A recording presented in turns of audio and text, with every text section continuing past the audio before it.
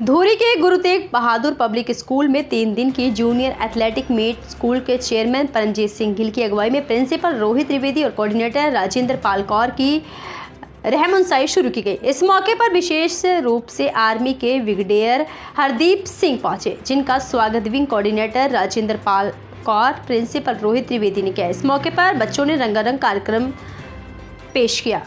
इस मौके पर बोलते हुए ब्रिगेडियर साहब ने कहा है कि इन बच्चों को देखते हुए अपना बचपन याद आ गया कि कितने साल पीछे चले गए याद ਦੇਸ਼ ਦੇ ਵਿੱਚ ਪੰਜਾਬੀ ਅੱਛਾ ਸਰ ਸਤਿ ਸ਼੍ਰੀ ਅਕਾਲ ਜੀ ਸਤਿ ਸ਼੍ਰੀ ਅਕਾਲ ਜੀ ਸਰ ਅੱਜ ਤੁਸੀਂ ਗੁਰਤੇਗ ਬਹਾਦਰ ਸਕੂਲ ਦੇ ਵਿੱਚ ਆਏ ਹੋ ਹਾਂਜੀ ਬੱਚਿਆਂ ਦੀ ਟ੍ਰੀਟਮੈਂਟ ਕਿਸ ਤਰ੍ਹਾਂ ਲੱਗਾ ਅ, ਬਹੁਤ ਖੁਸ਼ੀ ਹੋਈ ਮੈਨੂੰ ਆ ਕੇ ਕਿਉਂਕਿ ਮੈਂ ਧੂਰੀ ਦੇ ਨੇੜੇ ਦੇ ਹੀ ਰਹਿਣ ਵਾਲਾ ਭੋਜਵਾਲੀ ਪਿੰਡ ਦਾ ਰਹਿਣ ਵਾਲਾ ਇੱਥੋਂ ਦੀ ਜੰਪਲ ਆ ਤਾਂ ਮੇਰੇ ਲਈ ਬਹੁਤ ਖੁਸ਼ੀ ਦੀ ਗੱਲ ਹੈ ਕਿ ਮੈਨੂੰ ਅੱਜ ਆਪਣੀ ਧਰਤੀ ਦੇ ਉੱਤੇ ਆ ਕੇ ਆਪਣੇ ਲੋਕਾਂ ਦੇ ਵਿੱਚ ਆਪਣੇ ਬੱਚਿਆਂ ਦਾ ਜਿਹੜਾ ਪ੍ਰੋਗਰਾਮ ਦੇਖਣ ਦਾ ਮੌਕਾ ਮਿਲਿਆ। ਬੜੀ ਖੁਸ਼ੀ ਦੀ ਗੱਲ ਹੈ। ਮੈਂ ਬਹੁਤ ਇਹਨਾਂ ਤੋਂ ਦੇਖ ਕੇ ਪ੍ਰਭਾਵਿਤ ਹੋਇਆ ਕਿ ਕਿੰਨਾ ਚੰਗਾ ਇਹਨਾਂ ਨੇ ਪ੍ਰੋਗਰਾਮ ਅੱਜ ਪੇਸ਼ ਕੀਤਾ ਬੱਚਿਆਂ ਨੇ।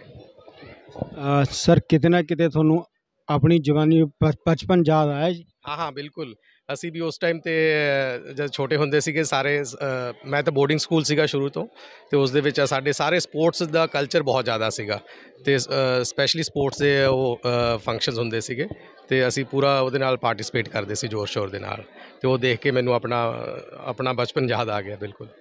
ਕਿ ਤੁਸੀਂ ਵੀ ਕੋਈ ਇਵੈਂਟ ਕੀਤਾ ਸੀ? ਹਾਂਜੀ ਮੈਂ ਹਾਕੀ ਖੇਡਦਾ ਸੀ। ਤੇ ਅ, ਹਾਕੀ ਫੁੱਟਬਾਲ ਸਾਰੇ ਗੇਮਸ ਖੇਡਦੇ ਹੁੰਦੇ ਸੀ ਸਕੂਲ ਦੇ ਵਿੱਚ ਸਵਿਮਿੰਗ ਵਗੈਰਾ ਸਾਰੇ ਕਰਦੇ ਸੀਗੇ।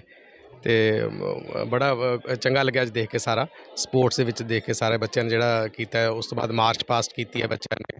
ਕਲਚਰ ਪ੍ਰੋਗਰਾਮ ਕੀਤਾ ਹੈ।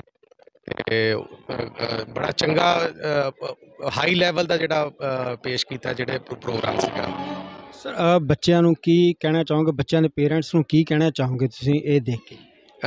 ਦੇਖੋ ਆਪਣੇ ਬੱਚੇ ਜਿਹੜੇ ਹੈਗੇ ਨੇ ਬਹੁਤ ਟੈਲੈਂਟਡ ਨੇ ਤੇ ਬੱਚੇ ਮੈਂ- ਮੈਂ ਇੱਕੋ ਹੀ ਉਹ ਦੇਵਾਂਗਾ ਕਿ ਇੰਡੀਆ ਦੇ ਵਿੱਚ ਹੁਣ ਇੰਡੀਆ ਜਿਹੜਾ ਹੈਗਾ ਇਸ ਟਾਈਮ ਤੇ 5th ਲਾਰਜੈਸਟ ਇਕਨੋਮੀ ਹੈ ਇੰਡੀਆ ਦੀ ਵਰਲਡ ਦੇ ਵਿੱਚ।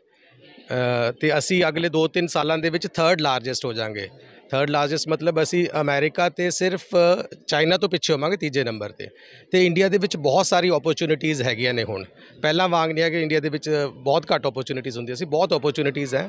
ਤੇ ਇੱਥੇ ਹੀ ਬੱਚੇ ਆਪਣਾ ਤਿਆਰੀ ਕਰਕੇ ਇੰਡੀਆ ਦੇ ਵਿੱਚ ਹੀ ਕੋਸ਼ਿਸ਼ ਕਰਨ ਕਿ ਇੱਥੇ ਆਪਣੇ ਪੇਰੈਂਟਸ ਦੇ ਕੋਲੇ ਰਹਿ ਕੇ ਆਪਣੀ ਜ਼ਮੀਨ ਦੇ ਵਿੱਚ ਕੋਲੇ ਰਹਿ ਕੇ ਇੱਥੇ ਹੀ ਅਸੀਂ ਕੁਛ ਨਾ ਕੁਛ ਨਵਾਂ ਏਮਪਲੋਇਮੈਂਟ ਓਪਰਚੁਨਿਟੀਜ਼ ਲੱਭੀਏ ਤੇ ਇੱਥੇ ਦੇਸ਼ ਦਾ ਕੁਛ ਕਰੀਏ ਦੇਸ਼ ਲਈ ਕੁਛ ਕਰੀਏ। ਉਹ ਜ਼ਿਆਦਾ ਸਭ ਤੋਂ ਜ਼ਿਆਦਾ ਇੰਪੋਰਟੈਂਟ ਹੈ। ਦੇਖਿਆ ਗਿਆ ਸਰ ਜਿਹੜਾ ਕੈਨੇਡਾ ਅਮਰੀਕਾ ਆਸਟ੍ਰੇਲੀਆ ਬੱਚੇ ਜਾ ਰਹੇ ਨੇ ਅੱਜ ਕੱਲ ਦੇ ਇੱਥੇ ਰਹਿਣਾ ਪਸੰਦ ਨਹੀਂ ਕਰਦੇ। ਕੀ ਕਹੋਗੇ ਦੇਖੋ ਅਗਰ ਜੇ ਤੁਸੀਂ ਹਾਇਰ ਐਜੂਕੇਸ਼ਨ ਲਈ ਜਾਂਦੇ ਹੋ ਜਿਵੇਂ ਤੁਸੀਂ ਮਾਸਟਰਸ ਕਰਨ ਜਾਂਦੇ ਹੋ ਜਾਂ ਕੋਈ ਤੁਸੀਂ ਸਪੈਸ਼ਲਾਈਜੇਸ਼ਨ ਕਰਨ ਜਾਂਦੇ ਹੋ ਫੋਰਨ ਕੰਟਰੀਜ਼ ਦੇ ਵਿੱਚ ਉਹ ਬਹੁਤ ਚੰਗੀ ਗੱਲ ਹੈ, ਜਾਣਾ ਚਾਹੀਦਾ ਕੋਈ ਮਾੜੀ ਗੱਲ ਨਹੀਂ ਹੈ। ਬਟ ਤੁਸੀਂ ਆਪਣੀ ਰੂਟਸ ਨੂੰ ਨਾ ਭੁੱਲੋ, ਤੁਸੀਂ ਆਪਣੇ ਦੇਸ਼ ਤੇ, ਆਪਣੇ ਪੰਜਾਬ, ਆਪਣੇ ਸੂਬੇ ਨੂੰ ਨਾ ਭੁੱਲੋ। ਇਹਦੇ ਨਾਲ ਅਟੈਚ ਰਹੋ, ਉੱਥੇ ਜਾ ਕੇ ਕਰੋ, ਪਰ ਇਹ ਨਾ ਕਿ ਵੀ ਉੱਥੇ ਜਾ ਕੇ ਤੁਸੀਂ ਬਾਕੀ ਲੋਅਰ ਲੋਅਰ ਲੈਵਲ ਦੇ ਜੌਬਸ ਨਾ ਲੱਭੋ ਬਟ ਹਾਇਰ ਐਜੂਕੇਸ਼ਨ ਵਗੈਰਾ ਲਈ ਜਾਣਾ ਚਾਹੁੰਦੇ, ਪੱਕਾ ਜਾਣਾ ਚਾਹੀਦਾ ਬਿਕੋਜ਼ ਅੱਜ ਕੱਲ੍ਹ ਜਿਹੜਾ ਹੁਣ ਕੀ ਹੈ ਫਿਊਚਰਿਸਟ ਜਿਹੜਾ world is one actually it is because internet ਆਉਣ ਤੋਂ ਬਾਅਦ ਜਾਂ ਕਨੈਕਟੀਵਿਟੀ ਚੰਗੀ ਹੋਣ ਤੋਂ ਬਾਅਦ ਹੁਣ ਦੁਨੀਆ ਇੱਕ ਬਹੁਤ ਨੇੜੇ ਆ ਗਈ ਇੱਕ ਦੂਜੇ ਦੇ। ਤਾਂ ਫਾਇਦਾ ਲੈਣਾ ਚਾਹੀਦਾ ਜਿੱਥੇ ਚੰਗੀ ਓਪਰਚੁਨਿਟੀਜ਼ ਹੈਗੀਆਂ ਨੇ ਬਟ ਆਪਣਾ ਦੇਸ਼ ਕਦੇ ਨਹੀਂ ਛੱਡਣਾ ਚਾਹੀਦਾ ਦੇਸ਼ ਨੂੰ ਨਾਲ ਇੱਥੇ ਦੇਸ਼ ਜਿਹੜੀ ਹੈਗੀ ਆ ਸੰਸਥਾ ਜਿਹੜੀ ਹੈ ਦੇਖੋ ਸਾਡਾ ਜਿਹੜਾ ਹੈਗਾ ਮੇਨ ਮੋਟਿਵ ਇਹ ਹੁੰਦਾ ਕਿ ਹਰ ਬੱਚੇ ਦੇ ਹਿਡਨ ਟੈਲੈਂਟ ਨੂੰ ਬਾਹਰ ਕੱਢੀਏ। ਉਹਦੇ ਲਈ ਅਸੀਂ ਬੜੇ ਹੀ ਬੜੇ ਪੱਧਰ ਤੇ ਅਸੀਂ ਜਿਹੜਾ ਹੈਗਾ ਪ੍ਰੋਗਰਾਮ ਨੂੰ ਲੀਕਦੇ ਹਾਂ। ਜਿਹਦੇ ਵਿੱਚ ਸਾਡਾ ਮੋਟਿਵ ਹੁੰਦਾ 100% ਜਿਹੜੇ ਹੈ ਕਿ ਉਹ ਬੱਚੇ ਪਾਰਟਿਸਿਪੇਟ ਕਰਨ। ਤੇ ਬੜੇ ਮਾਣ ਨਾਲ ਕਹਿੰਦੀ ਆ ਕਿ 600 ਤੋਂ ਜ਼ਿਆਦਾ ਬੱਚੇ ਜਿਹੜੇ ਸਾਡੇ ਉਹ ਐਥਲੈਟਿਕ ਇਵੈਂਟਸ ਦੇ ਵਿੱਚ ਹਿੱਸਾ ਲੈ ਰਹੇ ਨੇ। ਔਰ ਇਸ ਤੋਂ ਬਿਨਾ ਜਿਹੜੀ ਕਲਚਰਲ ਐਕਟੀਵਿਟੀਜ਼ ਨੇ। ਇਹਦੇ ਵਿੱਚ 850 ਬੱਚਾ ਅੱਜ ਇਹਨਾਂ ਨੇ ਪਾਰਟਿਸਿਪੇਟ ਕੀਤਾ ਔਰ ਨੈਕਸਟ ਦੇ ਵਿੱਚ 600 ਫਿਰ ਪਾਰਟਿਸਿਪੇਟ ਕਰਨਗੇ। Meaning each and every child ਨੂੰ ਅਸੀਂ ਮੌਕਾ ਦਿੰਨੇ ਕਿ ਉਹ ਉਹਦੇ ਵਿੱਚ ਹਿੱਸਾ ਲਵੇ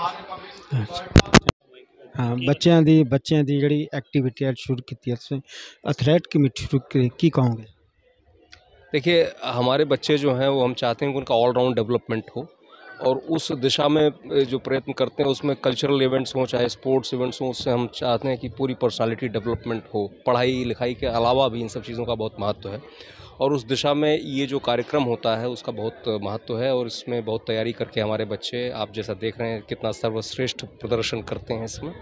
तो इससे हम ये मानते हैं कि इनका व्यक्तित्व विकास होता है उनका संपूर्ण विकास होता है। पेरेंट्स को क्या कहोगे पेरेंट्स को यही कहना चाहूँगा कि अपने बच्चों को पढ़ाई लिखाई के साथ साथ हर चीज़ पे चारित्रिक शारीरिक और आध्यात्मिक विकास पर भी ध्यान दें। क्योंकि आज का जो समय है, वो सिर्फ़ कोई एक डायमेंशन में प्रोग्रेस करने से नहीं होता। उन्हें हर क्षेत्र में जो है, अपने बच्चों को बढ़ चढ़ के हिस्सा लेने के लिए प्रेरित करना चाहिए। और हम देखते हैं कि वो इस मामले में बहुत अच्छा कर रहे हैं। उन्हें उत्साह देते हैं इस मामले में।